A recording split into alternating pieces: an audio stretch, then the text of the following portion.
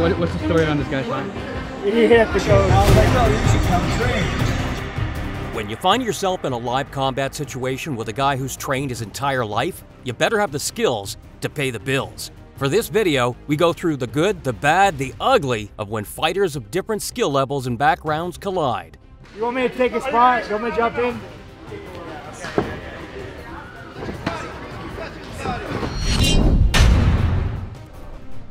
We could realistically dedicate an entire video to the great Zhu Xiaodong and his mission to eradicate the world of fake martial artists.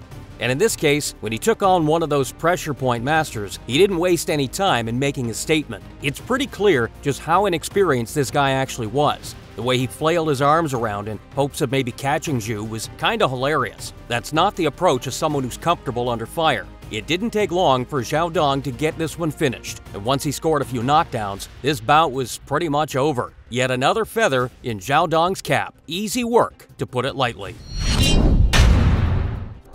Tyron Woodley was known for taking his foot off the gas in his UFC championship career, but when he featured on Bully Beatdown to fight some random dude, the chosen one made sure to bring his aggressive A game, and boy was this one-sided. Woodley started to advance almost immediately and picked his opponent apart with a selection of increasingly heavy strikes, jabs, leg kicks, body punches. Woodley could choose his weapons with absolutely no fear of retaliation. And when he finally went high with the kick, that pretty much brought this contest to a crashing halt. To say this dude had a puncher's chance would be a bit kind. He realistically had no hope here.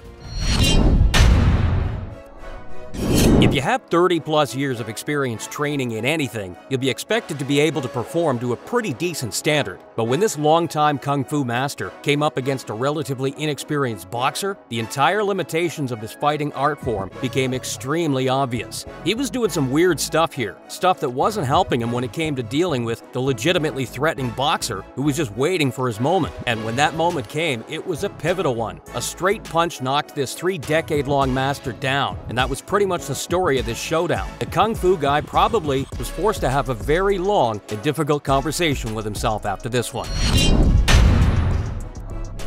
If you go around calling yourself a next generation Bruce Lee, you'd better not fall apart under the pressure. Because when this guy decided to take on this clearly skilled fighter, the difference in their talents became clear very early. And as the girl fighter continued to land with increasing levels of aggression, you could just see our fake Bruce Lee's fighting spirit begin to deteriorate before our very eyes. Eventually, he was gassing out hard, eating a series of big shots that were having more and more of an effect on him, and you could just see he was busted up by the time the fight came to an end. This guy is not on Bruce Lee's level at all.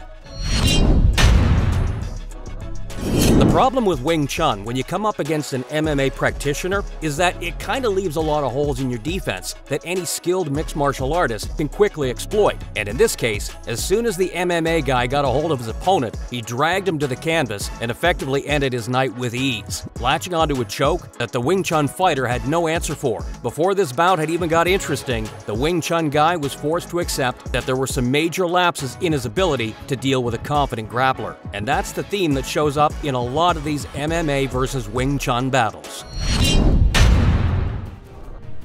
This one is truly abysmal. Not only did this bully come into this gym and try to pick a fight with one of the smallest guys in there, but when this guy started totally beating him up, he proceeded to try and quit and get out of there without taking his punishment. And instantly, you could tell that the whole gym were on his back about it. You can't just waltz in and demand a fight like this and then quit when the going gets tough. Now, this guy didn't have enough speed, skill, or enough fighting spirit at all to compete.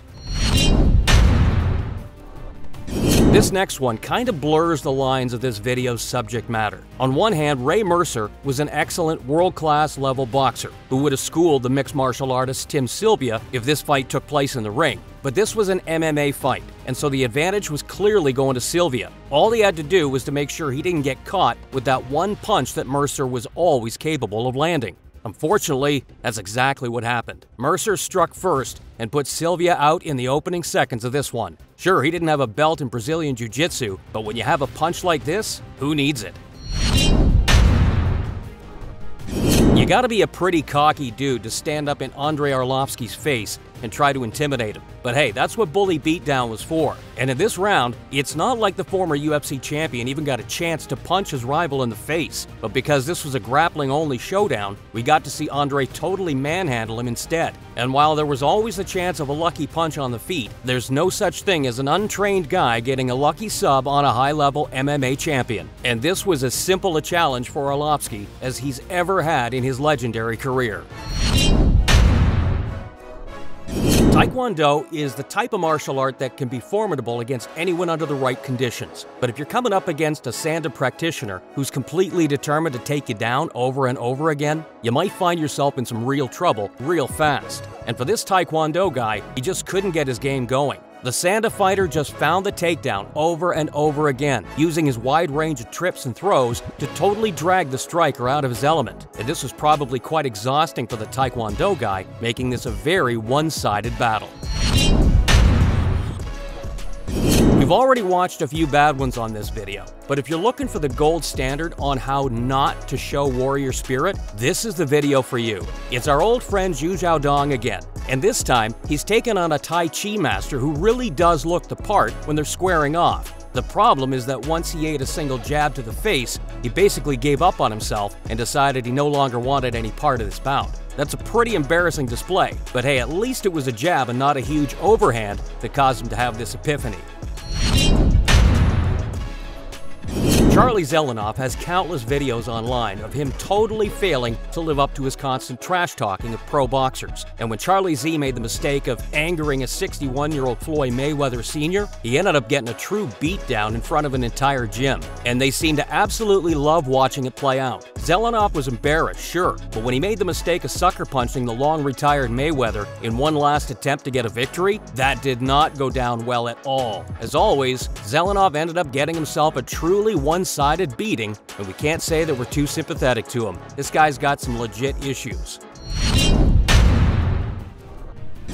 Sean Strickland is the type of guy who's always liable to actually invite an online troll to his gym just so he can teach him a lesson in person. That's something that's happened on multiple occasions in the past. And just because Sean will shake your hand and give you respect when it's done, he's not going to be any less mean to you in the cage. And he did not let this guy off the hook at all, bringing that classic high volume style of boxing to this sparring session. And it didn't take long for this inexperienced dude to realize just how far out of his depth he was. This was a totally one sided whooping from the former UFC middleweight champion of the world.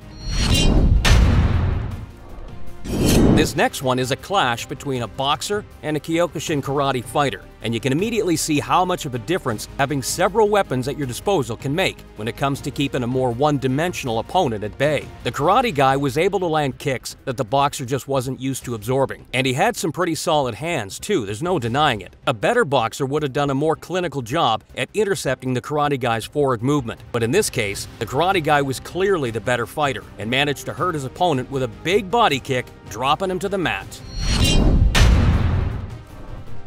And to finish, we have a decent showcase of just how badly Capoeira alone can be in a fight against a more well-rounded opponent. Now, this wasn't a hard session, and you get the sense that these two were just feeling each other out more than anything else. But the Capoeira fighter's spins were just so telegraphed, so easy to read, and as the MMA guy started applying the pressure, you could see the openings in his target's defenses, especially for boxing in close. This wasn't the type of fight that gave us a definitive answer, but it certainly showed us a lot. You really need more to your game to stand up to the type of multi-pronged offense that an MMA fighter can bring.